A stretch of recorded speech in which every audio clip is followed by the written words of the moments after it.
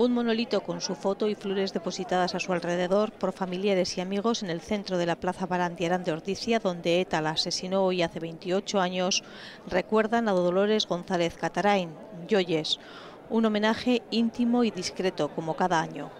Yoyes fue asesinada el 10 de septiembre de 1986, miércoles, como hoy, en el Día Grande de Ordicia. Se encontraba junto a su hijo de tres años cuando José Antonio López Ruiz, Cubati, acabó con su vida.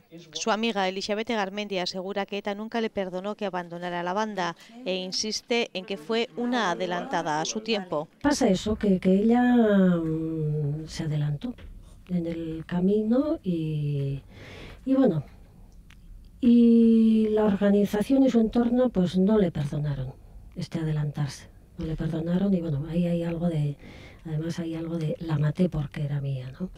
Y quiere dejar claro que Yoyes ni se reinsertó ni se arrepintió. Yoyes, eh, en fin, no hay ninguna duda de que hizo una vía limpísima.